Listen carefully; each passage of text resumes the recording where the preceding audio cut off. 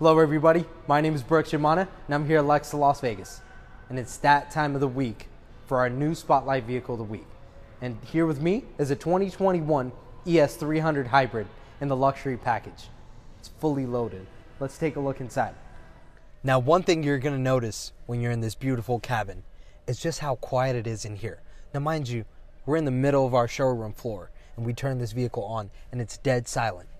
That's solely because it's running on the battery power, because it's a hybrid powertrain, which also benefits you by giving you a combined 44 miles to the gallon.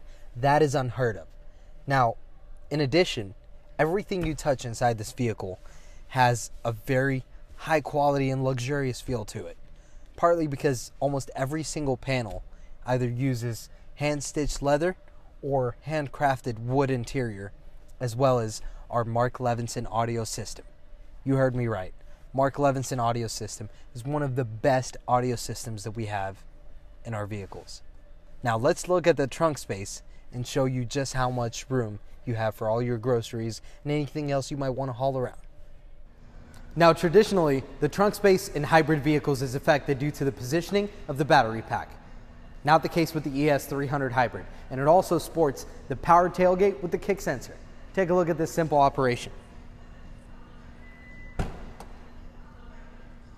Oh, Hey everyone, it's Bryce Lawson here. And as you can see, the trunk is very spacious.